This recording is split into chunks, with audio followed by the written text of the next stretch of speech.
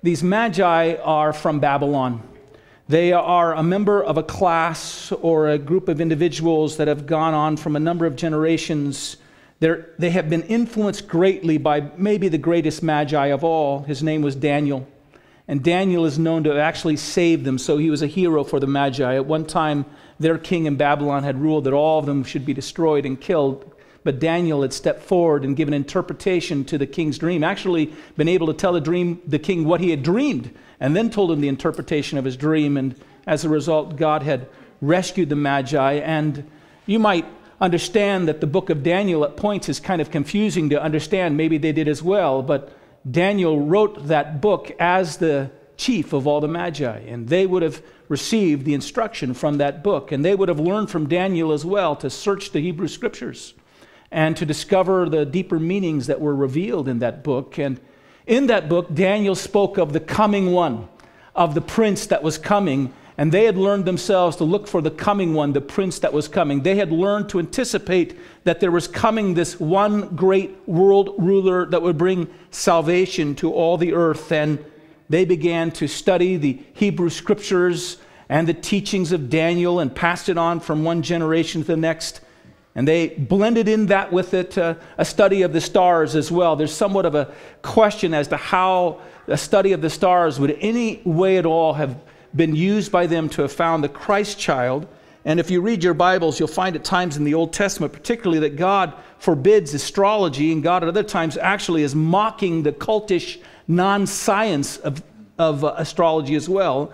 But there was kind of a Jewish brand to uh, astrology as well because their calendars, the calendars that the Jews had made and went by, was basically charting out the chart or the movement of the stars. Their astrology, in this sense, was simply an understanding that God was, the Creator God, was sovereign over everything, and God demonstrated His sovereignty over the universe and over the world by the way in which He carried out His will in time.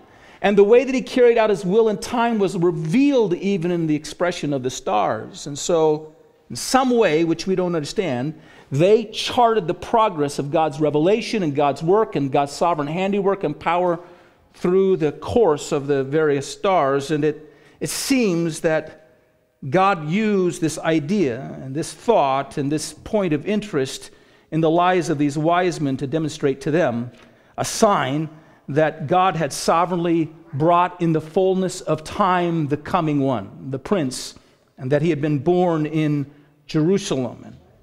This should, by the way, remind us that we cannot exclude God's voice from speaking to whomever he wills. That God has a way of penetrating and speaking and condescending to the sensitivities and the manner in which people receive information and instruction to teach them and communicate to them. And and I'm sure by now you've heard of uh, a great work of God that's taking place in the Middle East, where there are people in the Muslim religion that are converting and turning to Christ in large numbers, largely because of dreams that they're having, in which the Lord Jesus is making himself known to them. And it's just another demonstration of how God condescends to speak to people in a manner, in a way in which they have learned to receive or uh, uh, uh, gain information of great or supernatural things. When the Lord Jesus came, the nation of Israel was looking for a prophet and a Messiah that could do the great miracles that had been done before by great prophets. And the Lord Jesus didn't disdain that interest and that desire, but he, he conducted all the miracles, all the miracles that have been formed. If you go through the Old Testament and you enumerate all the different miracles that were performed by men of God and the, and the great prophets, you'll see that the Lord Jesus does all of them and more during his earthly ministry in order to, in a sense, direct their attention and to gain their interest and to proclaim to them and reveal God's character and God's nature and God's message and God's gospel to them. And God is still doing that today. He's speaking to people all over the earth and communicating to them and revealing to them Himself. What's interesting here in this passage is that these Babylonian wise men are searching the skies for the sign, and God uses it to lead them to the birthplace of the Messiah. And, but we should note that whatever teaching they had was far less than what was available to any priest or any scribe in the land of Judea at that time. But not any priest or any scribe in Jerusalem or Israel went to seek the Lord Jesus and worship him. These magi did. they came and they went. In fact, it's just another point of observation that our Lord Jesus spoke on many different occasions with wonder at those who, outside of Israel, who were not the initial ones to whom he had come to reveal himself in his salvation, were oftentimes the ones who most eagerly and willfully and yearningly responded to his appearing. The Lord Jesus will marvel over the faith of the centurion who believes that the Lord Jesus has the authority just to speak the word and it will bring a healing touch to his sick servant. And the Lord Jesus spoke of, uh, of uh, the time of Jonah and the city of Nineveh, and how the city of Nineveh repented at the preaching of Jonah, and yet the nation of Israel won't repent at the proclamation of their Messiah in their midst. And he marvels at these things. Just a few weeks ago, we were preaching about the 10 lepers that the Lord Jesus healed. And we noted that nine of them went their way as soon as they got gratification for what they desired. But one was brought to a point of gratitude, and he returned to bow and thanksgiving and worship at the feet of the Lord Jesus. And the one who returned was the only non Jew among them, it was a Samaritan. And again, the Lord Jesus marveled at these things and at their response. And to this, now we can add the testimony of these magi, these wise men who come from Babylon and who witness against the leaders of Israel.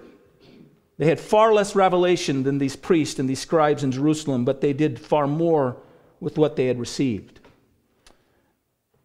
We live in a very privileged, privileged nation. We have been the heirs of an ongoing current of the witness of the gospel through the generations.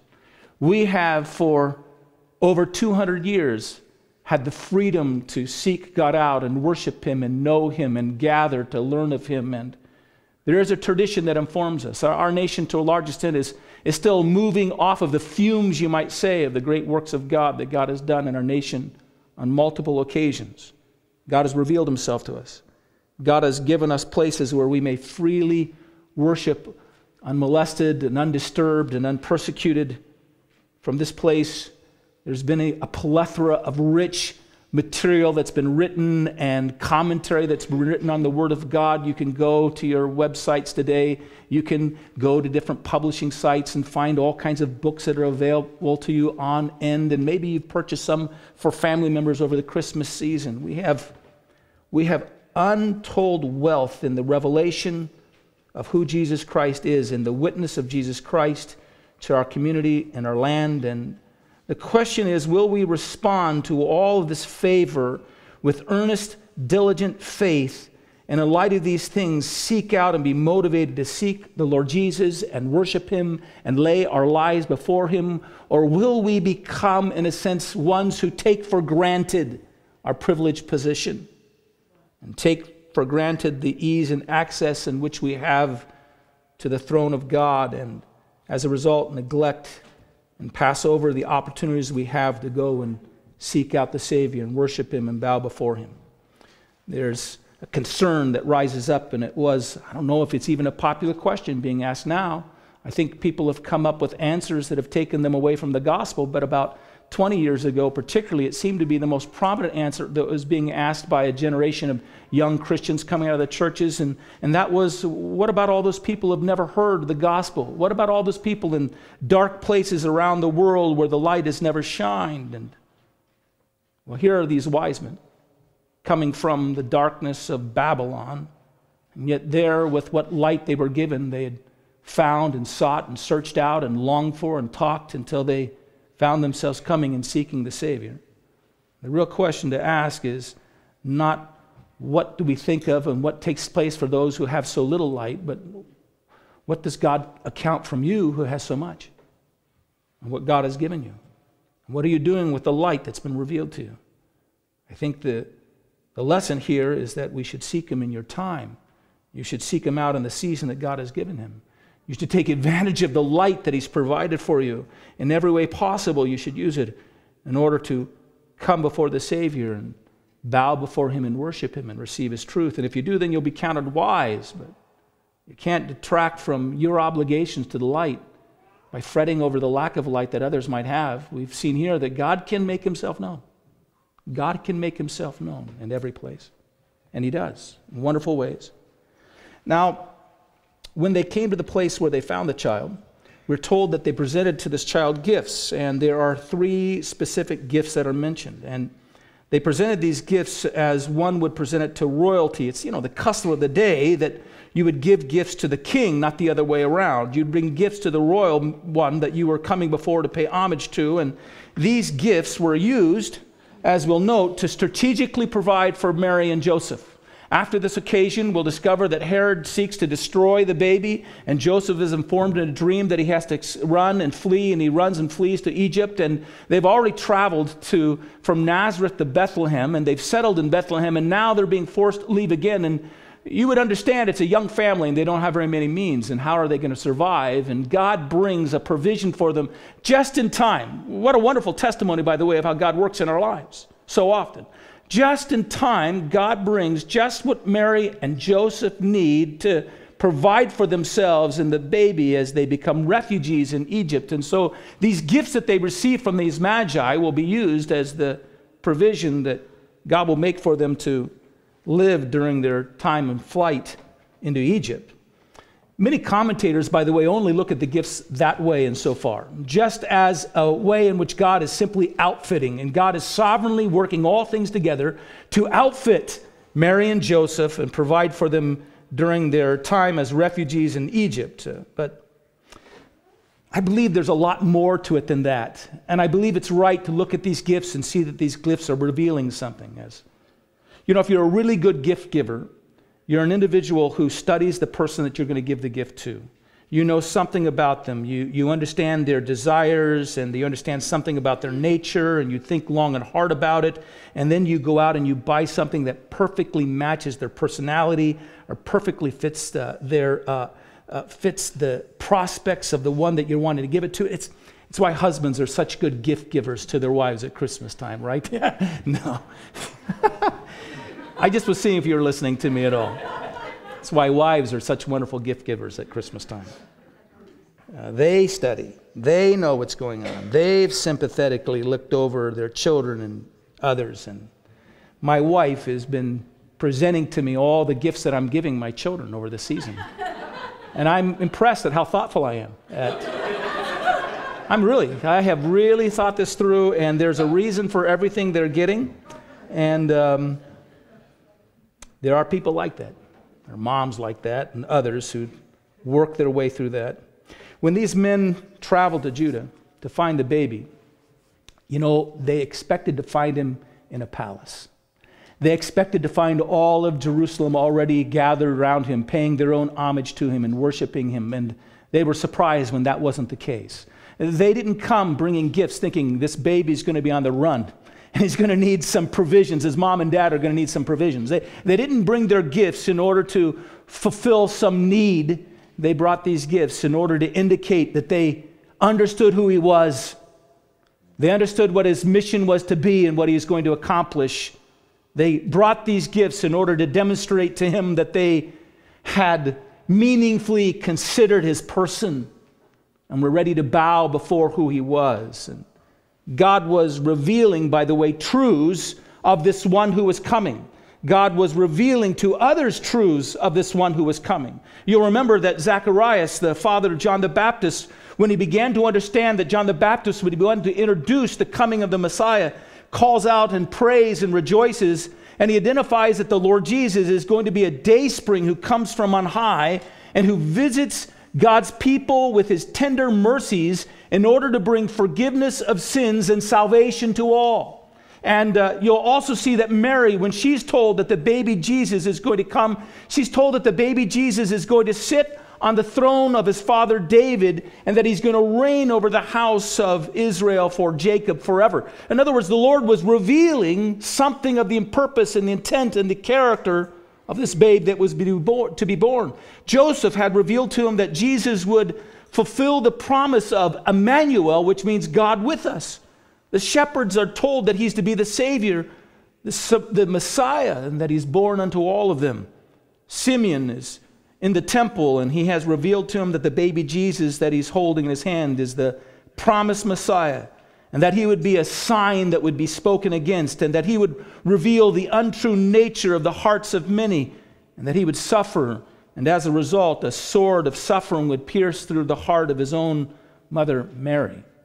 Simeon has these things revealed to him. The point here is that there were a number of individuals who knew, knew more of the way and the future of the baby Jesus than you might imagine. These magi knew more as well. And their gift reflected, reflected what they had come to understand of who this Jesus was and something of the ministry that he would fulfill. So let's, let's look at these three gifts. It won't take us very long. And the first thing we'll see is they brought gold fit for a king. Gold was the metal of kings. It was considered the most precious of all metals, and it was a symbol of royalty. If you go to 1 Kings chapter 10, don't, but if you go to 1 Kings chapter 10 later, uh, there you'll have a record of all the gold that Solomon amassed for himself and that came into his coffers on an annual basis. And we're told that Solomon was receiving 666 talents of gold a year. He was receiving gold that was being brought to him and being brought into his king. And yet we're told that when the queen of Sheba came and with amazement recognized the, the wealth of Solomon and the splendor of his palace and the wisdom that God had given him, that she appointed an additional 120 talents of gold be given to him. Solomon had enough gold. He didn't need 120 more. It wasn't given to meet a need. It was given as an expression of an honor and recognition of his great royal power. The gold was given to the baby Jesus because these magi, these wise men, knew that Jesus was the king. And when they asked, Where is he born king of the Jews? they didn't mean, Where is he who will one day become king over this small people of Israel in the small area of Roman Palestine? That's not what they were referring to when they asked, Where is he who has been born king of the Jews? Not that he's going to become king, but he's already king. They were inquiring of one that they could go and worship and pay homage to, who would be the worldwide king spoken of by Daniel. Actually, if you, now, if you want to, take your Bibles and turn to Daniel chapter 7. All through the book of Daniel, there are different passages that reveal to us something of the wonder and the majesty of this promised one. Daniel refers to all the kingdoms that rise up at one time in a vision, and then all of a sudden there's a great mountain that comes down out of the sky and falls upon the image of all these kingdoms and crushes them to powder, and they're blown away. And then that mountain rises up to fill the whole earth. And it's his image of the coming Messiah that comes who will crush all the empires that have come before him. This is another passage that kind of reveals this anticipation of the coming one. In verses 13 and 14, Daniel writes of a vision he had. I was watching in the night visions, and behold, one like the Son of Man coming with the clouds of heaven. He came to the Ancient of Days, and they brought him near before him. Then to him was given dominion and glory and a kingdom, that all peoples, nations, and languages should serve him. His dominion is an everlasting dominion which shall not pass away and his kingdom the one which shall not be destroyed. When the wise men came looking for the one who was born king of the Jews, this is who they were looking for. This is the one that they were inquiring to. This is the one they were going to bow before and worship. Let's look at another thing. They, they brought to him frankincense fit for a perfect priest. Frankincense gold for a king, frankincense for a perfect priest. Frankincense was a rare and expensive incense. In Leviticus 2, you'll see that it's set forward in the temple. It was to be mixed with the oil that was to be used to anoint priests. It was mixed with the offerings that were brought before God, the meal offerings that were brought before God, that were to be an expression of thanksgiving and fellowship with God. These were not the sin offerings. These were the offerings in which the people wanted to express their desire to commune with God and fellowship, a, a, meal offering that was presented before God and burnt before God. And these offerings had mixed within them the frankincense. It's the same oil again that was mixed, that was mixed in the oil that was poured out on, the priests as they were anointed to serve God. This way, the meal offerings and the priests themselves are being depicted as individuals and things that are acceptable and pleasing and satisfying to God and something that God receives. And so the Magi's gift point that Jesus Christ will be a high priest who will stand before God to offer himself on our behalf as the means or the sacrifice or the way into fellowship before God. He is the one who will make us acceptable and pleasing to God. It's Him that we present before God that brings us into fellowship with God. He's both the anointed priest and the anointing offering of worship by which we come before a holy God. We know this. We don't come in our own merits before God. We don't come claiming, claiming anything good that we have done. We come before God clinging to the garment of our high priest who presents himself as the one who is all satisfying to a holy God, and we in him are made satisfying to God as well and enjoy fellowship with him. James Montgomery Boice, in a, uh, a book that he wrote on holiday messages, has a wonderful message on this topic, and it's from him that I borrowed largely. And he points out the frankincense was never, as we mentioned, never mixed with the sacrifices that represented sin and that were made as a sin offering. They were only put upon the meal offering. And in this case, what we can understand is that the incense is an expression not of a payment for our sinfulness, but as a, what God receives as an expression of righteousness that He recognizes and accepts and He enjoys. It's an expression of sinlessness it's an expression of one who is being made perfect or has the perfection of God being cast upon him. When you have a little baby that's born, you hold that little baby in your hands and you think this baby is perfect. This baby is so wonderful, but it grows up. You know, those little feet that you want to nibble on. And at some point in time, they're no longer tasty to nibble on, right? You, some point in time, you, you leave them alone and you make them wash their feet before they go to bed at night. There was even a time when you washed for them, it was kind of pleasant, but after a while, it's like, go wash your feet. It's actually go put your shoes outside and then go wash your feet. And you also find out that your children are not so perfect. They begin to reflect not the glory of those innocent days, but they begin to reveal to you, you as you've become in your own failings and your own sin. And, but the Lord Jesus, the baby that Mary will hold in her arms, is perfect and will grow in sinless perfection. He will be a fragrant incense before God of complete and total moral righteousness. He'll be the spotless Lamb of God. He'll be our ground of pleasing fellowship with God when we come to Him as our high priest, anointed with all of God's goodness and covering us with Himself. Paul actually tells us as believers that we can put on the Lord Jesus Christ. We clothe ourselves with this anointed one with the fragrance of all his righteousness to come in the Father's presence, and he's our high priest. And so they brought the gift of frankincense. Here's the third gift it was the gift of myrrh. Myrrh fit for a suffering Savior. Now, this gift was not rare and it was not expensive. Gold was expensive and frankincense was expensive, but myrrh was hauled into the ports of Israel from Asia Minor in large quantities, and it wasn't expensive whatsoever. And it was primarily used, it was almost singularly used as a spice for the purpose of embalming bodies. It was constantly being sold for funeral arrangements in the marketplaces in any town and any city in Israel.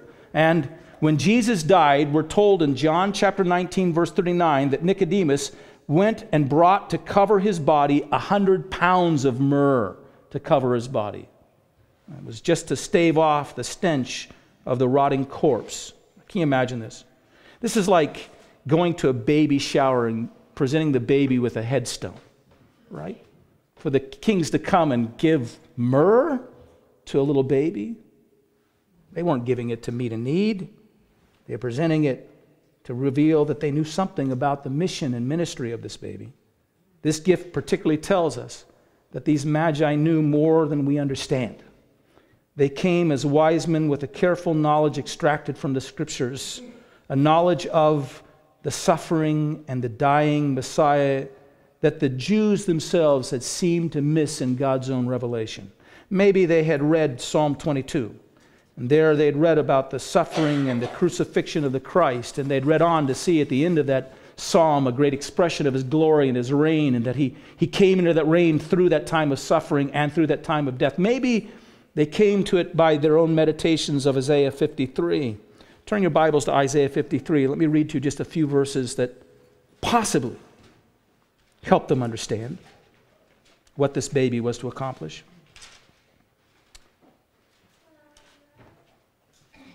We have different scriptures that are read for our scripture readings in our fellowship.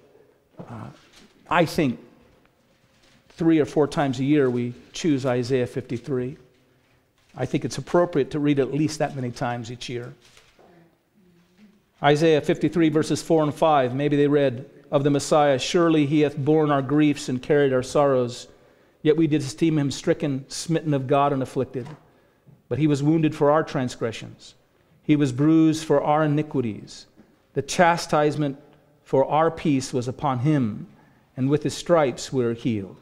Maybe they went on and read and understood from verses 9 and 10 this mission of the Savior to come and die.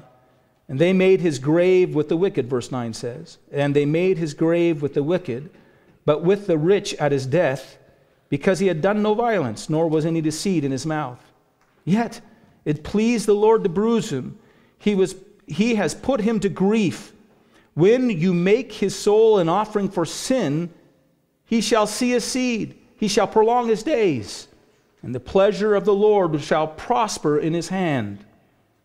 Like John the Baptist, who pointed to the Lord Jesus along the waters of the Jordan and said, Look or behold, the, the Lamb of God who carries away the sins of the world. These magi come to understand that this Savior must suffer and die to bear our sins. And it was the myrrh that they brought that symbolized the suffering and the death that Christ came to offer up for us wonderfully, again, they knew something about him more than we could think. They, they gave gold for a king, they gave frankincense for a sinless and perfect priest, they gave myrrh for a suffering and dying Savior. Boice actually goes on to make a wonderful observation. He notes that in Isaiah 66, there occurs a prophecy that Isaiah makes of a time when the nations will come at the end of the age and they will bring their worship to the Lord, the Messiah, the King of all the earth, and they'll put all their trust in Him. And the beginning of that chapter begins in verse 1. It says this Arise, for your light has come, and the glory of the Lord rises upon you. And we're told that the, in the light of the glory of this reigning king, the Gentile nations are going to flood in to worship him, just like these Gentile kings, these magi had flooded into Bethlehem to worship the Lord Jesus.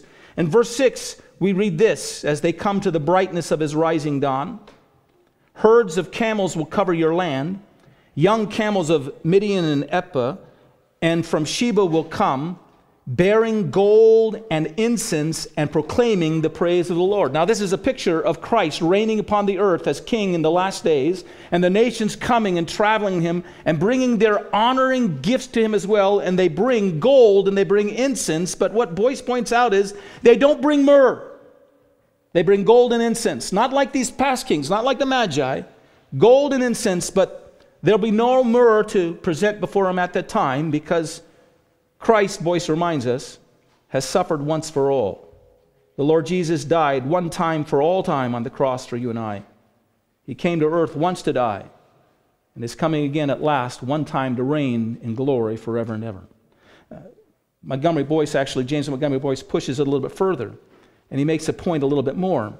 He asks us to recall when the Lord Jesus suffered and died and was buried, and when his body was covered with that, uh, uh, that, that wrapped up body that was wrapped up by Nicodemus and Joseph of Arimathea and put in the tomb of Joseph of Arimathea's family. And there, as they put it in the tomb, a hundred pounds of myrrh would have been laid out over and covering that body completely, encasing that body. And he, he reminds us of the scene when the word comes that the stone has been rolled away in John 20. And Peter and John rush to the tomb. And when they come to the tomb, you remember, John outruns Peter, and Peter enters first, and then John follows after. And when they enter into the tomb, they see that the grave clothes are not taken off, they're not unwound, they're lying there empty, shrunken down under the weight of a hundred pounds of myrrh, laying in that place, in that sarcophagus unmolested, undisturbed, And we told at that time, John tells us at that time that when he sees this sight, the body missing, the clothes lying out there, not unraveled, unwrapped, the myrrh resting upon it, that's what he would have seen. John simply says of himself, he believed. He believed. What did he believe? Well, he believed that, and he embraced the truth that Jesus Christ had indeed risen from the dead. He knew that Christ had conquered death on his behalf and that the myrrh, the myrrh was done with and forever finished. It was left behind in the empty tomb. He died for us once for all, that we might have forever life with him. Christmas is about that great gift. It's about that great gift the death of Jesus Christ, God's Son, for our sins, so that he might reign over us as King and be for us forever our great high priest, and bring us in his righteousness before the throne of God to enjoy his fellowship forever and ever. His resurrection from the grave to glory is our promise of everlasting and eternal life. It's kind of a funny thing that when we study this story that oftentimes the takeaway that individuals make are the gifts that somehow we bring to God that gain merit for us. We present to God our goodness, our good deed, or the what little we can gather together, and God takes it and receives it. And it's so good. He welcomes us because we bring we bring our little parumpapum gifts, you know, and we lay it out before him. We're the little drummer boys that see what we can bring and just the right thing that he honors, that he receives, and that's not the story at all. I actually have kind of a funny story. Uh, when I was a, a pastor in my first church, I was an assistant pastor, and in those days we had a church. It was a church of about 350 people. We met in a gymnasium uh, next to the stage that we had set up, very much like our stage here. Uh, we had a stage that was set up was bigger than this. The pastors actually sat on the stage, and the person who led the worship leaders sat on the stage and we sat there throughout the whole message. And then when the sermon was over, the senior pastor was speaking, he would step out and walk out a door that was on the other side, just alongside the stage. And then we would follow him and we'd go to a place where we greet people as they came through those same doors as they were leaving. Now, in this sanctuary, this gymnasium, there was one single door that was in the back of the church, just a narrow little door, about 350 people that would pack in every Sunday. And on this occasion, it was the Christmas season, and the pastor pa- preached on this passage, and he, the message was the gifts that we bring to God. We bring the gifts. It's, it's some, and there was within it this idea that there was something meriting or something wonderful in what we are able to bring to God. And so at the end of the message, there was a Christmas tree by the stage. He, he told everybody that what he wanted to do before they left, he wanted to bow before the Christmas tree of all things. I think he hadn't thought this out. I, I'm going to give him credit that he was winging it. And sometimes when you, I write my notes here because I'm afraid I'll say something really stupid if I wing it. And he wanted everybody, as they left and departed, to uh, bow before the tree and to give to God whatever gifts God was asking of them, and then they could leave. Well, I was the one following him, and I can't walk out in front of him. He stopped in front of the tree, and so I'm kind of stuck there. I'm, there with every, I, I turned I was like, okay, whatever God you want, you can have it. It was a really quick prayer. And then I followed him. But what I noticed is that nobody came through those doors. And then I looked in and everybody was crowding out the back door at the back of the church. It was like there was a, you know, a, uh, everybody was packed in and they were waiting to get out that back door because nobody somehow felt that it was appropriate, maybe, to give God a gift at a Christmas tree. This account here is not about what they gave to God. It was not about what we give to God. Everything they gave was an indication of, they, of the fact that they understood what God was going to give to us, what He was going to provide for us. He was giving us a king to rule over our lives and bring order in our life. He was going to give to us a high priest so that we could find access to him and worship him. He was going to cover us in the fragrant aroma of his own righteousness. He was giving us a lamb to come and die in our place for our sins. It's all about. It's all about what he's given for us. So, Christmas.